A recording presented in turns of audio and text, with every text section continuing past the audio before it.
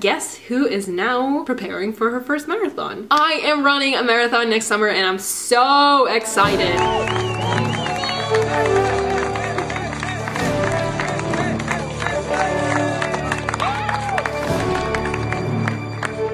Everyone! So I ran a marathon. I have been waiting for this for so long and it finally happened. So today I'm gonna talk about my experience, how it was for me, and I'm also gonna talk about how I did it because I can imagine some of you are here to hear that because I was googling around before I did it to see how other people were preparing and stuff like that. I've talked about this a little bit before, but I just wanted to say that I always wanted to run a marathon, but I always thought that only a certain kind of people can do that. I just didn't think I had the mindset eh, or just the capacity to do it. I thought that people were just born to do it or they weren't. Regular people like me cannot do that. I am not a runner. Okay, I like to run, but I'm not, you know, in a running group or I've never done it in any organized way. I just like to run. So it's not like I'm special. I just put my mind to it and I worked for it and I did it. So yeah, it's possible. But now that I've done it, I definitely understand why when you tell people you're gonna run a marathon, they think you're crazy. It's just a wild experience and I am so overwhelmed still. But I also want to say now that I don't think everyone can do it and I'm not trying to be really negative, but if you don't think you can do it, then you,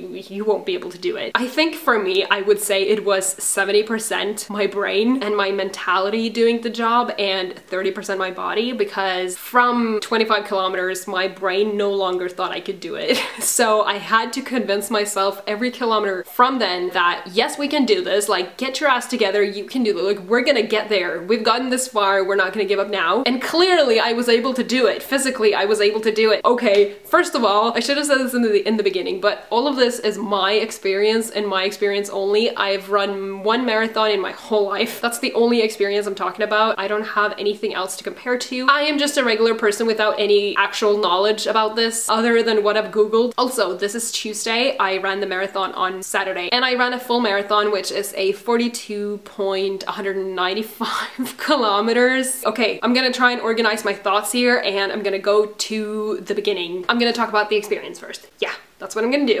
oh, I'm such a mess still. I am a very emotional person and the day before, actually two days before, I was kind of a mess. So I would tear up every time I thought about like running the marathon, not because I was scared, but because I, this was just something that I really wanted to do. So I was just so ready to get it done and so just personally invested in achieving this because I was so excited. Again, it's something I've wanted to do my whole life. So it was just so crazy that it was finally happening. The morning of the marathon, marathon, I got up, had coffee, played TFT on the couch, had my porridge, and then I went down with, well, okay, I'm gonna say this, I am very lucky that I ran the marathon in my hometown, so I had, you know, my network of friends and family around me, so that was just lovely. I went down there with my parents and they told me before I got out of the car that, remember, we're not gonna be disappointed in you if you can't do it. We really, really think you can do it, but if something happens, like for, for whatever whatever reason, if you can't do it, no one's gonna be disappointed in you. When I got there, my friend Ingrid was there waiting for me and it was so nice that she was there and she uh, helped me put the thing on and stuff because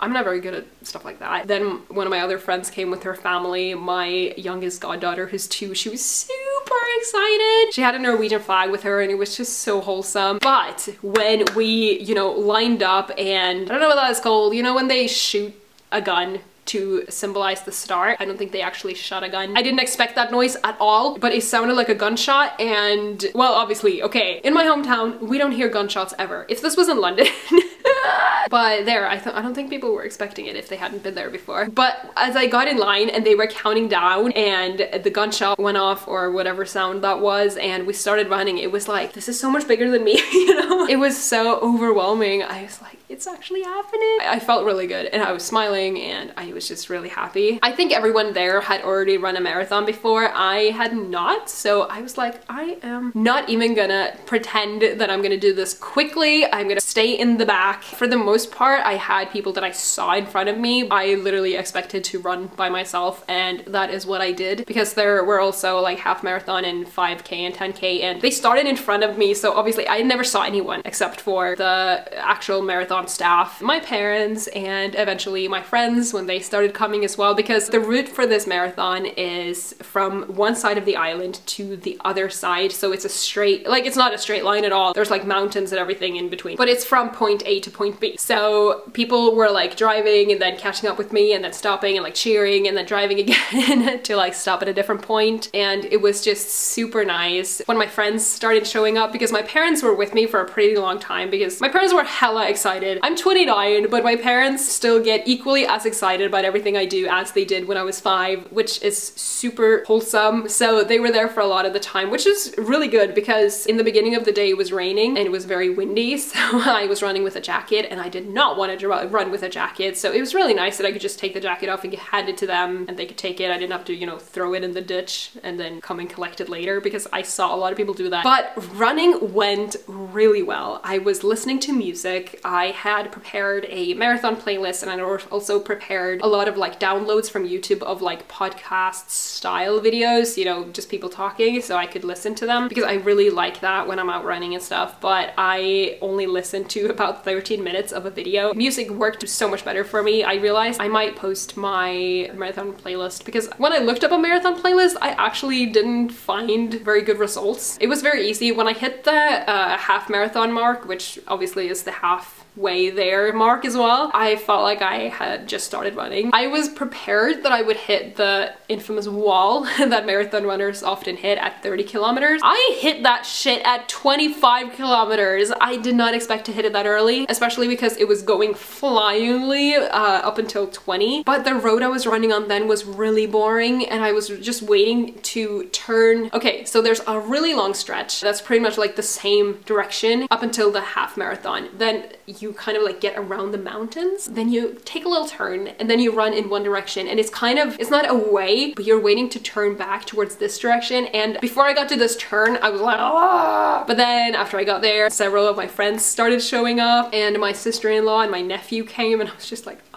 my heart is so full. I was so emotional. There was one specific landmark I was waiting to hit because then I knew there would only be like maybe two or three kilometers left. I'm not exactly sure, but from there I knew that I could do it because I knew that like this is not far. And almost all of my cheerleaders had stopped there and it was just so nice. Like one of my friends was there with her kid and she was just bouncing like crazy. She was so excited for me. And then when I got to the finishing line, everyone there was cheering for me. I was the last person to get there, obviously. And everyone up there were cheering and it was so nice. There was just so much love and support there. My finishing time was four hours hours 48 minutes and I am pleased with that. I did not have a strict goal in mind because first of all it was my first time doing it, second of all the weather was shit, third of all I was only doing it for myself so I didn't really need to have a goal if that makes sense. Like finishing is good enough for me but a person there told me that when they saw me leave town, like leave where we started, they said that they thought that she's not gonna get to the finishing line. Uh, why would you even say that? Like that's such a backhanded compliment. Like what a weird way to phrase a compliment. Like you might think that that's a nice thing to say, but excuse me, someone's gonna have to be last, okay? And also, I was very prepared that I was gonna be last, and I also thought the whole time, because you know, obviously a lot of cars passed me by when I was running, and everyone could tell that I was the last runner, but I literally thought to myself that no one can judge me because I don't see them running a marathon, like they're driving past me, like they're not even participating, so why would they even judge me? So that was my way of thinking, and it's true. Why would, why the hell would someone someone judge you for being last. You're running a marathon, like that's a crazy achievement. So one of my friends had bought me champagne, which was super fun, like super cute. They even brought champagne glasses. I popped that thing, it flew, almost hit someone. it was not alcoholic, by the way, just just saying. I don't drink, and I think that would have been a terrible day for me to start drinking. Oh, and also I only drank water and the energy drink thing that they had. I don't know what it was. It tasted like cough syrup, but I think it helped me. I don't know if it was just placebo, but it felt like it helped. Yeah, so all my friends were there and it was just super nice. And yeah, when I got over the finish line, my mom hugged me and then my two-year-old goddaughter ran up and she was like, yay! And I was, and I just kind of like grabbed her and I was like, I did it! I was just so excited. It was so nice and I must admit, I have watched the video of me crossing the finish line maybe 50 times. And then, this is the most Norwegian thing ever, but they gave me some locally produced smoked salmon. That was one of the prizes and I also got, oh, I got a trophy, but my brother put it up on a shelf really high up and uh, I don't want to break it, so I can't really risk getting it down. I think that's pretty much it actually. It was so overwhelming. My heart was so full. I am still emotional about it. It was just really, really nice that so many people came together to make my day even more special. Some of my friends and family couldn't be there and they were really upset that they couldn't because they really wanted to, but a lot of them showed up and I just really, really appreciate it. And I feel, you know, for like, a lot of people run marathons in, in places where they don't know anyone. And I feel like it really helped me to have a network of people that could cheer me on and just in general like be there. But also knowing that a lot of people were watching me run on the like tracker website because they track where you are on the map. And a lot of people were following me and every time I thought about it, I was like, oh, people are just sitting there like watching me.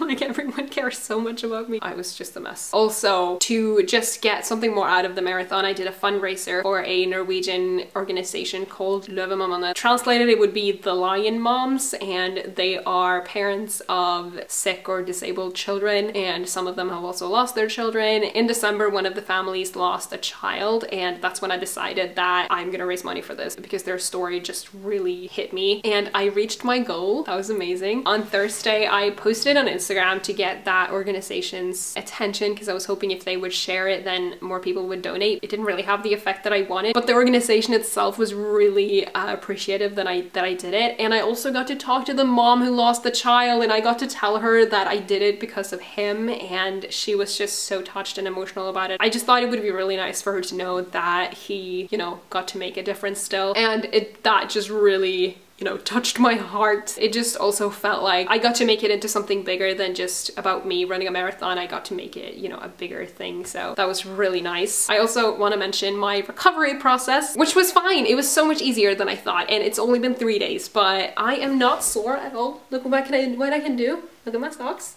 They're fun socks. but for the rest of that Saturday and Sunday, I played with my nephew, so I was pretty active. I didn't really rest, and on Monday I had to go to work. On Sunday, getting out of bed was a bit of a ugh, and I definitely felt that I'd run the marathon. On Monday, I didn't. It was kind of gone, and today I'm not sore. So it did not take very long at all, and I'm kind of shocked at how easy it was. I kind of thought I would be sore for longer, but at the same time, I never really do get sore after running because I do it so much much, so I don't know. It's really nice that I didn't have to go through that though. And also, my feet look amazing. They don't look like I went through a marathon and they don't hurt. I don't understand how. I thought, you know when you walk for like the whole day or you, you're just really active for a day and you're like the soles of your feet hurt? I nothing. And my skin looks nice. Does not look like I've been running for five hours on those damn feet. So I don't know how uh, my body just handled it so well, but I'm still gonna say I don't feel right now that I'm gonna do it again. Not because I didn't enjoy it, because I absolutely loved it and I'm so happy that I did it. I wouldn't take it back for anything, but I've done it now. I don't really see myself becoming one of those people who run um, like 30 marathons. My goal was really just to have done it. Also, I am super excited to just bring up into any conversation that I ran a marathon.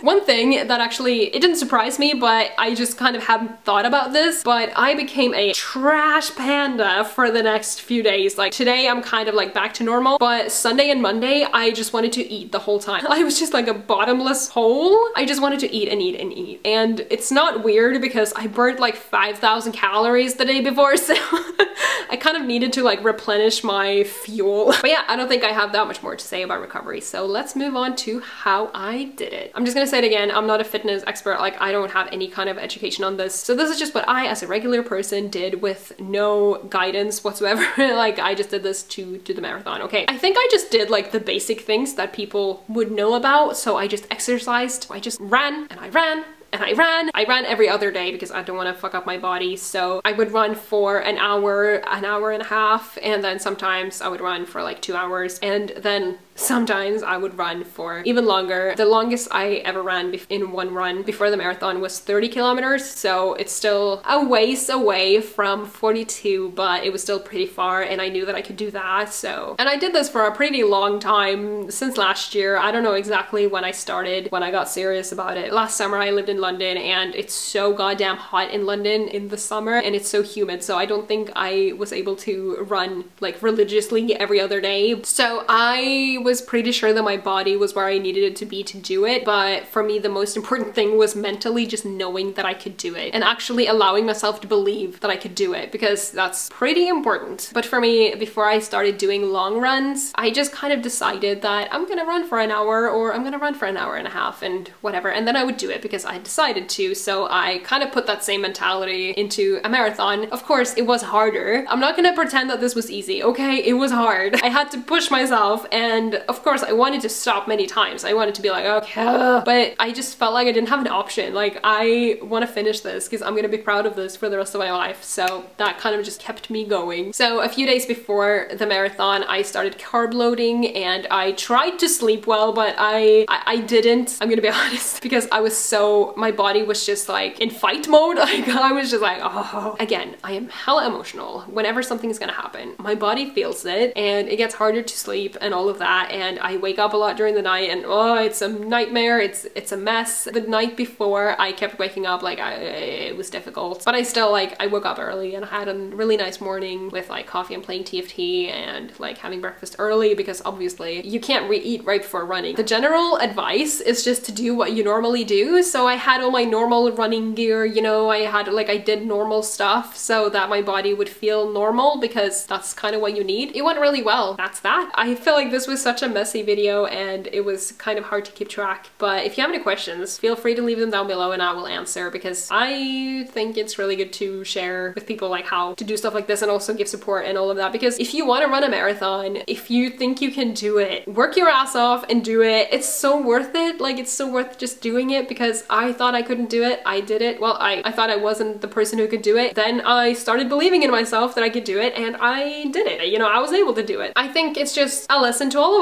you know, don't go your whole life thinking that you can't do that because you're not that kind of person or that's too hard or something like that. Because realistically, you can do a lot of the things you want to do. Like you can do a lot. You have a lot of potential. I think we should use it. Life is unpredictable and we should get as much as we can out of it. Thank you so much for watching this video. It meant a lot to me. I was really excited to make this video and wow, I'm still just ugh, a ball of emotions. well, that's kind of my normal existence. Anyway, I shall see you next time. Keep it the good vibes. Bye.